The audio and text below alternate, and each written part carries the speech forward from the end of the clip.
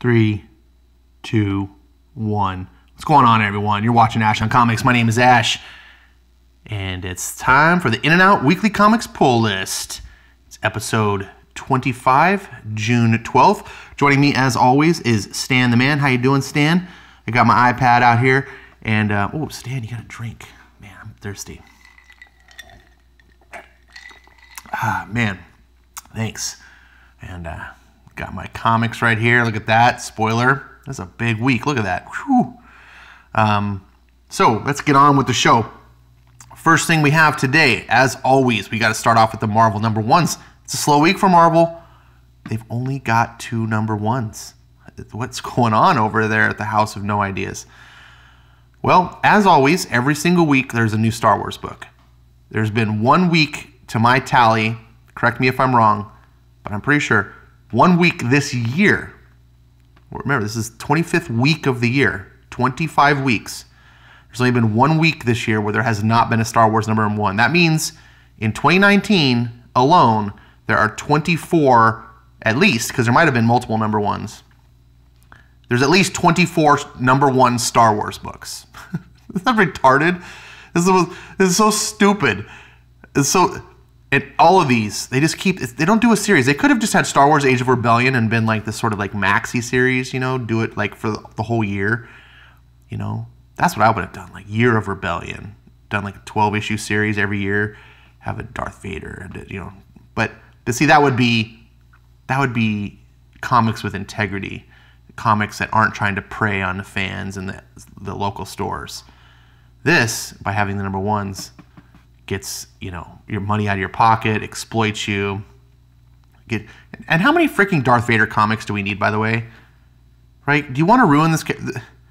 Darth Vader is one of the greatest villain characters of all time, and you're just going to ruin him by oversaturating and just barfing out Darth Vader shit left and right. The other book that they have is um, is actually a number one I picked up. So this marks now the third Marvel comic that I've picked up as a number one. Excuse me, as a number one this year. Um, and only the second of a hard copy. So I got um, the first one was Life Story, Spider-Man Life Story, which I've done reviews on every issue. Fan freaking tastic is probably one of the best things Marvel's done in years, if not decades. Um, then I picked up digital copies of Ed Piskor's X Men Grand Design. So that I have digitally. Um, and then this will be the second. I've been reading the Venom stuff uh, from Donny Cates, who writes this, and I'm in love. Well, I don't want to get hyperbolic here. Hey, see bats? I use it in a sentence. Um, I don't want to be hyperbolic about that. I really like the Venom and I really, I mean, what they're doing, it's got really good art, fantastic art, and really good writing, and coming from the low bar that Marvel is, it's it's fantastic. This is a book that would have held its own in the '90s. Um, so that's saying something. That's kind of my bar. It feels like, would this book have survived in the 90s? If yes, then worthy book. If no, should not be in print. That's sort of my way of thinking. So I'm not even really. A, I love Venom as a villain character. I, think he's the, the best Spider-Man villain.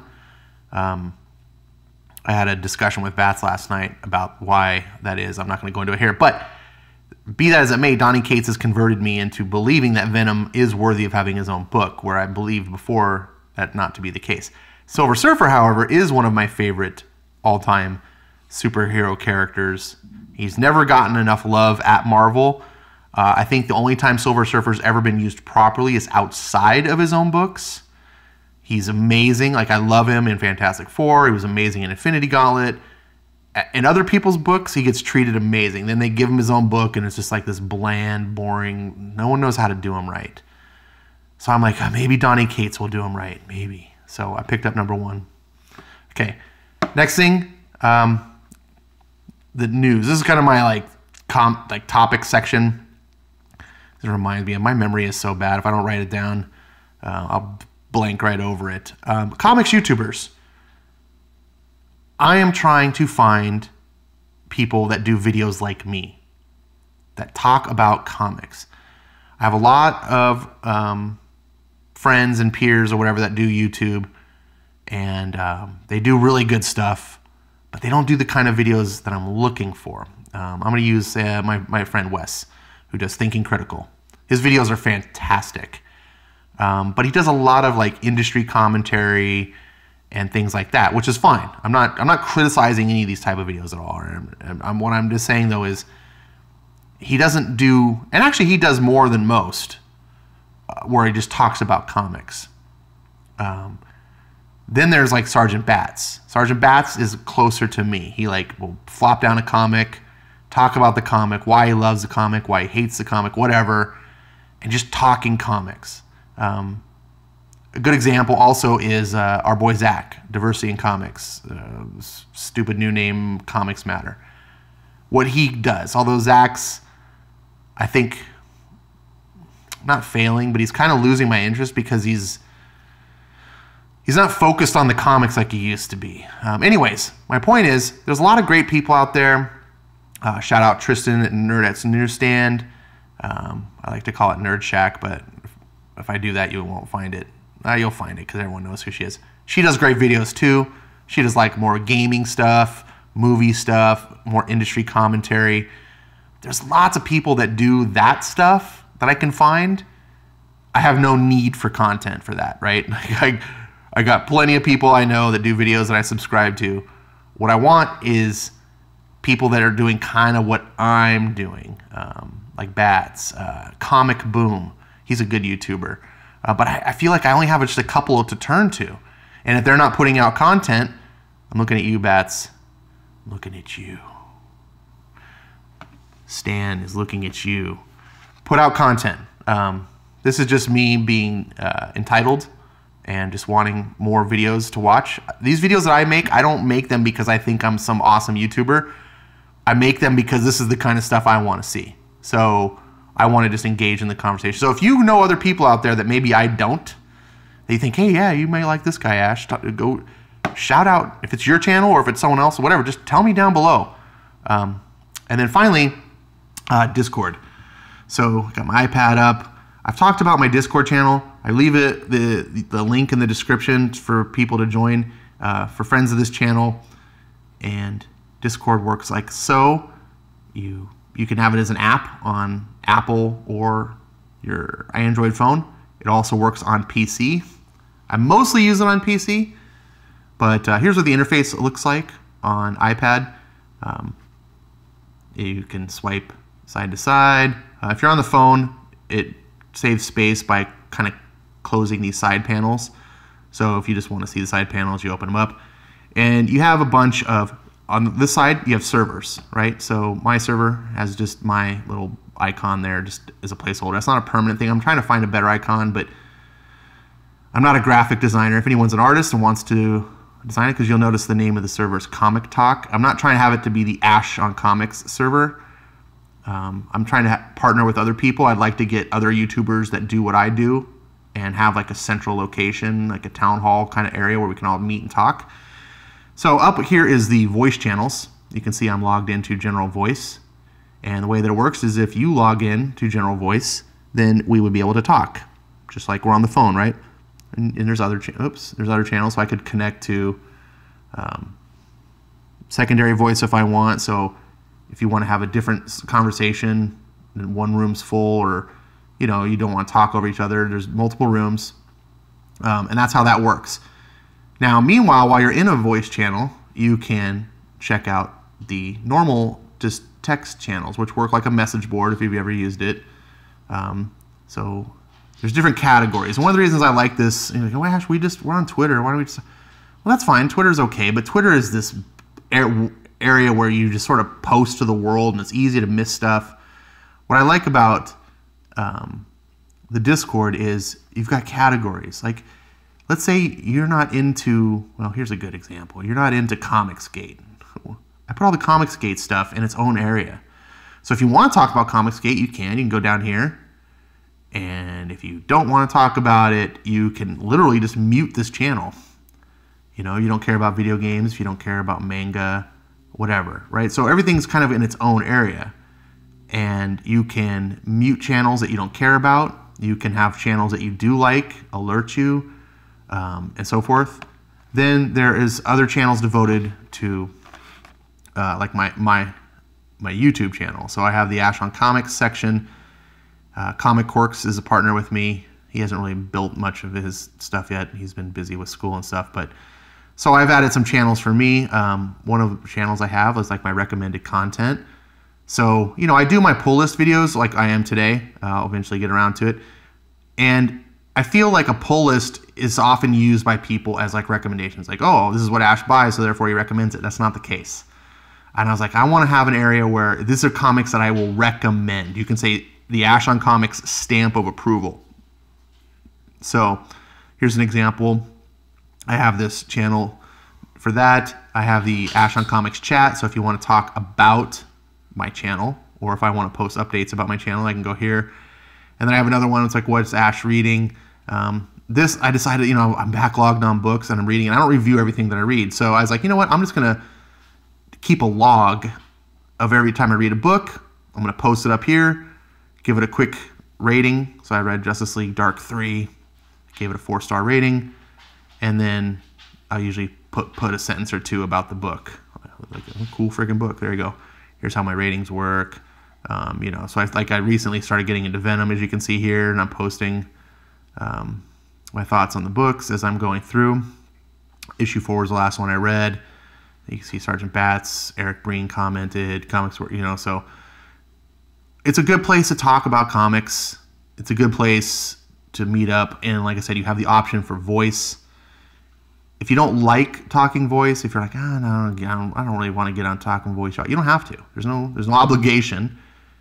Um, if you don't have a mic, you don't have, you know, but you still can listen. If you, you can like log in. Right now you can see right here my mic is muted, so no one would hear me. I have to unmute my mic. But if you just wanted to listen in, you know, and then we have uh, a voice a chat chat area. So like when everyone's talking and they want to just post stuff in the chat, like while they're talking. Uh, oftentimes they'll use it to post pictures, but people can type, you know, so you can follow along. Um, I really like the Discord. I think it's a great tool. It's great value. Um, we oftentimes will have uh, kind of voice talk sessions late at night. Uh, a few people log on, just shoot the shit. Um, it's really cool. So if you uh, are a fan of the channel or myself or any of the people involved here and you want to talk comics with us, if you think, hey, I would just feel free.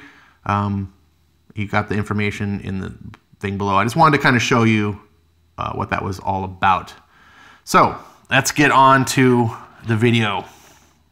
Yeah, Ash, it's 13 minutes. I thought the video already started.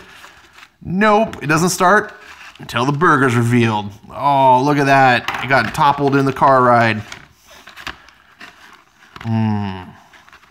Oh, where the hell's the lettuce? That's a no-no, In-N-Out. That's a no-no.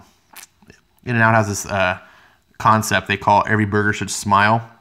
So when you when you look at your burger, it should be like this, and the lettuce should be out. You should be able to see everything, and it and it you know it's pinched kind of in the bottom in the bag, and, the, and the, this side opens up, and they call it smiling burger. The lettuce should not be buried back in there like that. That is someone dropped the ball, but that's only an aesthetic. I'm sure it tastes fine, which I'm gonna do right now. So stay tuned. Don't go away. Don't you go away. Don't don't you do it. Ah, all right. That's a good burger. Uh, thanks for waiting. Uh, for those of you that are still here, uh, thanks for not tuning out. Look at this big list. Holy fucking camole. Um, th- it's actually even bigger than this. Uh, this is, I am trying to pare this down. I do not want to be spending $200 a month on comics. Um, this is getting out of control. However, this is a good sign Look at that Doctor Doom. I just had, look at that. I love that picture. Yes, Bats, I know the shading. Yes, yes, I know. Anyways, um, what was I saying? This is a good sign about comics, right? Right? If you are in the quote unquote comics gate crowd, if you are the kind of person that's been disillusioned with modern comics, I feel you. I'm right there with you. However, if you are in the new comics gate crowd, what I call Neo Comicsgate, um, I'm sorry, Ethan doesn't like that. He, it's not meant to be a derogatory thing. Um, it's not meant to be like neo-conservative or neo, you know, like it's neo just means new. So I thought it sounded way better than phase two. it's just uh, like phase two doesn't mean anything to me. It's not phase two. It's a different kind of comic Comicsgate. It's a new comic Comicsgate, and it's about selling books. And most of the consumers, the fans of that, are about what I call black pills. They're about burning the industry down. They don't want Marvel Comics or DC Comics or anything. They just like screw it all. It all sucks. It can all just be thrown into a fire we're, we're done with it. Now, that's a fine opinion to have. I can't tell anyone what opinion to have. You can like comics, you can hate comics, whatever. That's an individual thing. But to promote this idea to others and try to persuade them to join your cause and feel the way you do, that I don't agree with. And so I'm going to be the mouthpiece against it. Like, I, I, they have the right to say what they want to say, and I have the right to criticize what they say. The fact that I have $50 in freaking comics in one week, and it's actually more, is a testament to how good comics are. like, there are more comics out than I should just get to it than I can afford to buy. Um, and even if I could afford to buy, I don't want to. I don't want to be walking home with a short box every night. You know, I wouldn't have a short box, but you know what I'm saying? I don't want all that space. I just want the best of the best. So this week, let's get on with it. Starting off with Independence because Bats convinced me to do that. I used to do do it backwards, um, but I'm gonna start off with the indies. Ascender number one. Now I already did a review on this through the magic of technology and uh, borrowing comics, um, but I believe in supporting books that you like. I liked this book. I liked it more and more um, that after I read it, and so now it's in my hot little hands. I paid $3.99 for it. This is Ascender number one. You should be able to find it in your stores. Um, if you're interested, this is a really good book, and it's like a sci-fi. It's a space fantasy. It's the same genre as Star Wars, essentially. So if you like that sort of thing, um, then Ascender should be, you can see my review. I'm sitting here going for it. So, moving on. So you can consider that kind of a back issue. Descender number two. Uh, you can pick these up, like I said, because Descender, the previous series, this is a, sequel that happens 10 years after with new characters, um, did really well. And it's a really well received book. Um, so stores, at least my store, or, seem to order heavy on this. I haven't read this one yet. But I'm going to. And Prodigy number six, the final book in this miniseries. Um, I like Mark Millar a lot. Uh, really, a lot. He is a very creative comic book writer. Um, he is a very strong idea man. There are there are there are comics writers and there are comics idea men, and then there are some that can do both. Mark Millar's one of those ones that can do both. Scott Snyder can do both. Um, Geoff Johns, not quite as big of an idea guy, does have some strong ideas. Um, some are just really good writers, you know, uh, and that's fine too. They could just tell a classic tale of adventures and good versus evil and heroic deeds they don't really think outside the box. They don't come up with really bizarro ideas and concepts.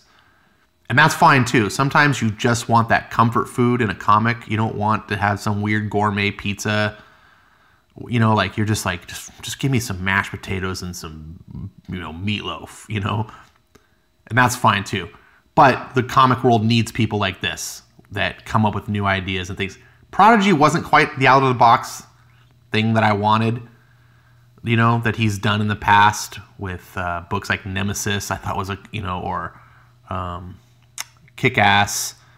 Um, God, I'm drawing a blank on a lot of his books right now, but you, know. So, anyways, I picked up Prodigy. It was a fun book. I've done reviews on it. You can see the reviews. I'm looking forward to seeing the wrap up of the story.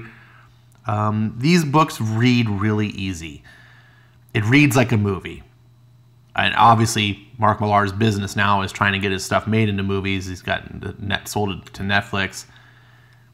And this book reads like that, which to some people are going to be put off. I think it actually works really well because it's a breezy read. It's got fun, action, adventure. And if you put all the books together, 15 minutes a piece, you're reading them, comes out to about 90 minutes of reading time. It's about like a movie. Uh, it's just really well paced. You're not going to get the deepest writing, but if you just want fun, if you want Zach style comics, that's that's where it's at. Next, probably one of the best comics on the shelf that people are not giving attention to. And what is it about that? What is it about comics these days? It, comics have become a lot like the movie industry, right? What do you mean, Ash? I mean, like in the movie industry, the best movies are usually the ones that no one watches. They're usually these critical darling films. You know, you know what I'm talking about. Um, for example, one of my favorite movies of all time, one of the best movies I've ever seen, is Million Dollar Baby by Clint Eastwood. Utterly fucking ridiculous. It just one of the. It's just a best picture. Uh, it's just one of the best movies I've ever seen. It's phenomenal. Most people don't even know it exists. you know, it didn't didn't break any box office office records. Um, it didn't even show in most theaters. It had this limited release. A lot of movies are like that. And to normies, a lot of them, they look at, oh, that's just Oscar bait nonsense. Well, say what you will about the Oscars. There is quality filmmaking out there, and the Oscars do recognize it. And a lot of those films are amazing films. They're just not popcorn films. And it's okay to just say, I just want to pop, I just want to go watch Michael Bay have robots fight each other. Okay, that's fine. I'm not going to knock it. But don't pretend like that uh, quality films are just nonsense because they're boring to you. Um, now, done with the indies. Um, Marvel, Silver Surfer Black. The main cover of this book is atrocious. I cannot stand. I was so glad my comic store had two of these left. The Ron Lim cover. Uh, it's not still my favorite cover. There's like 24 freaking covers to this. Um, it's not my favorite cover, but my favorite cover is that stupid like one in a hundred chase variant nonsense bullshit. Marvel preying on fans and retailers thing that I, I even got in a discussion with a guy at the store about it, and he was like, "Yeah." Um, we were just, but I did want to read it because Donny Cates is wowing me on Venom right now. He's like, he's a, here's another idea man. We're talking about idea man. Donny Cates, one of the modern guys. This guy is creative, comes up with new things. I love Silver Surfer. Um, I feel like he's only been done good outside of his books, not in his books. Every time they give him a series, it's like, meh. Stan Lee, hey Stan, you remember when you wrote that that Silver Surfer miniseries with Moebius. That, my friend, was one of my favorite comics of all time. Thank you for making me a fan of Silver Surfer. Check that out. Um, so, Silver Surfer Black. Blah, blah, blah, blah, blah. Next. Spider Man, Spider Man does whatever a spider can. Yeah, that's it. I just I just sung that. That's the Spider-Man theme song from what's it? the 60s cartoon, the original Spider-Man cartoon. You should look that up sometime if you haven't seen it. Uh, Spider-Man Life Story is what got me to break the seal and buy a Marvel comic. Um, Spider-Man Life Story is freaking fantastic. I did a review on all the issues so far. The last issue, number three, is the best so far. This movie or movie, this comic will make you feel things. Um, it will, if you have a soul, that is, if you're not some jaded asshole. Um, if you, it, it, Chip Zdarsky is knocking it out of the park. Um, so kudos to Chip. Mark Bagley is writing it. He's an old school 90s Marvel artist for Spider Man. I have nothing but good things to say about this. Um, I'm excited. You should check this out if you like Spider Man at all, even if you're not a uh, typical Marvel fan. If you if you're like me, you're like, ah, Marvel. This is one of those books that's I think it's one of the only books in the last 20 years that 20 years from now we'll look back and be like, what was great about 20 years ago? This. This is Supergirl. What the hell? Um, no, it is, I I picked this up. I thought this was the variant cover for Superman. So, why? Because the last page of Superman uh, 11 ends with this. And so I, I, picked up from the stack of Superman. I picked, I, I don't know what mistake I made. I was like, oh, okay, here's the full art cover. Didn't even think, wouldn't register. This is one reason I hate these. At least DC does put this down here, but I, don't know what I was thinking. So, uh, yeah, it, it, totally made sense. Bendis cuck Superman. I mean, this totally. It, oops. So my store, I called my store, and they're gonna swap it out for me. So pretend that's Superman, number twelve. And uh, speaking of books that I'm probably not going to keep buying anymore, yeah, Superman 12 I think is to be my last. Bendis is just just shitting the bed, and I don't. I keep. I've I've been doing this just for the channel, and I'm like, I'll just borrow it from someone uh, and, and read the book, and I don't need to keep giving money. This is shit. I love Superman. I want to like.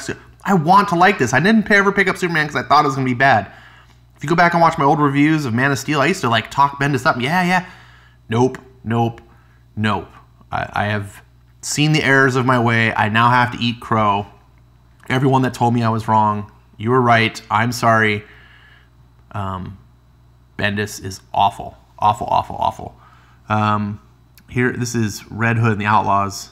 Sorry, Red Hood Outlaw number 35.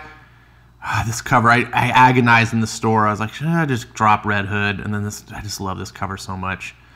Um, it's not doing it justice with this glare, but uh, just the reflection in the blood. Just oh, Red Hood is getting the freaking art, fantastic full art treatment um, on these covers. I don't know why Red Hood deserves any special privilege.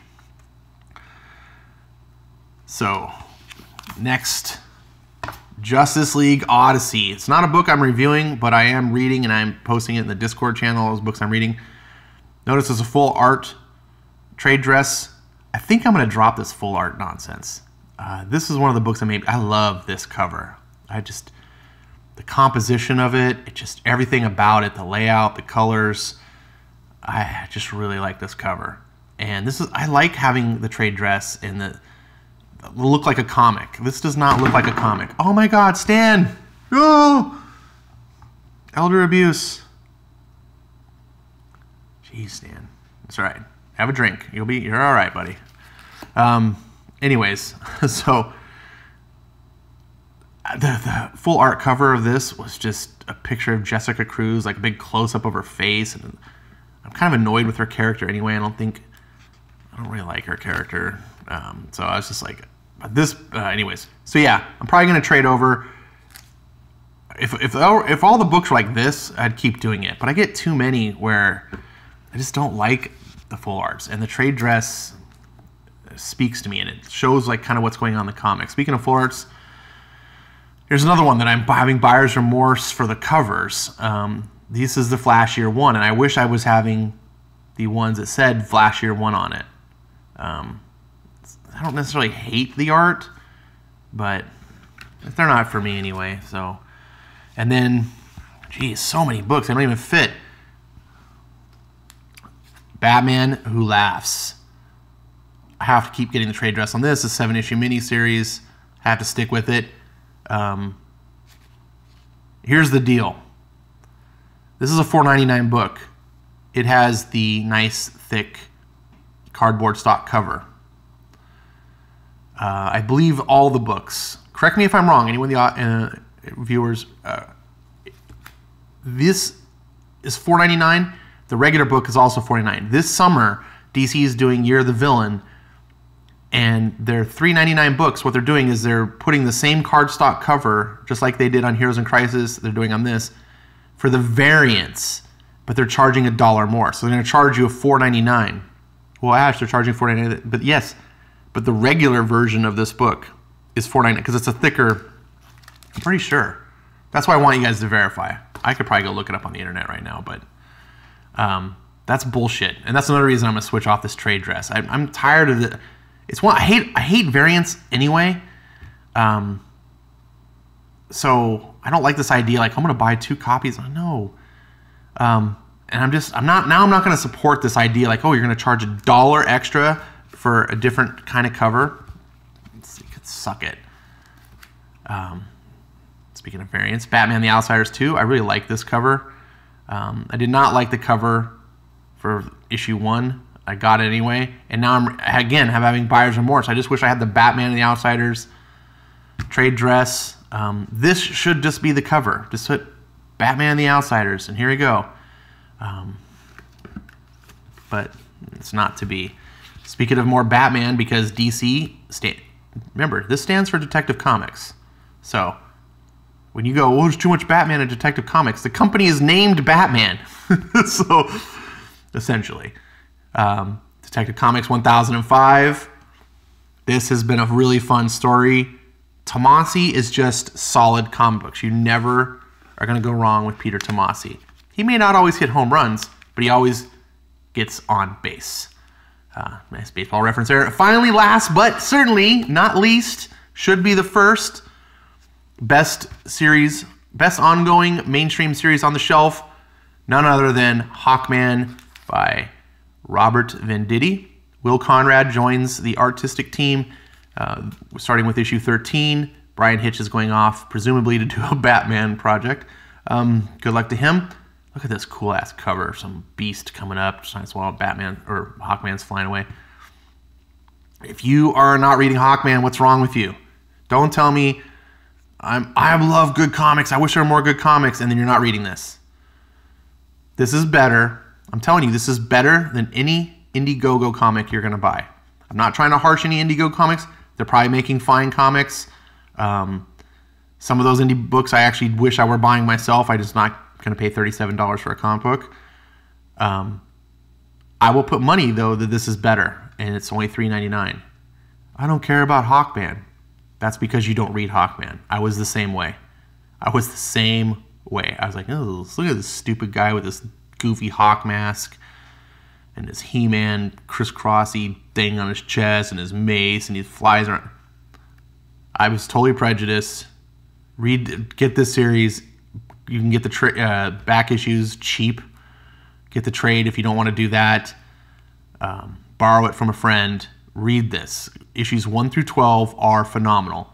Venditti does not reinvent the character, but he sort of redefines the character. He takes the histories that have existed, he doesn't obsolete them, he builds on top of them to explain them in a way that was not previously understood.